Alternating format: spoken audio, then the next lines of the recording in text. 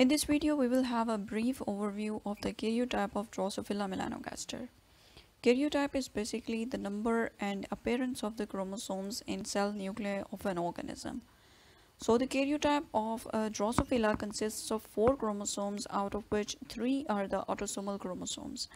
Here in this figure you can see the chromosome 1 is the sex chromosome which uh, in case of female is XX whereas it is XY in case of males.